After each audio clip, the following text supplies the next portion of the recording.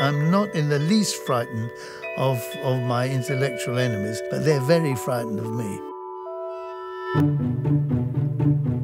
I was in Germany, and one of my colleagues said, in no sense of malice, he said, Tell me, Dr. Hillman, do people in Britain hate you as much as they do in Germany?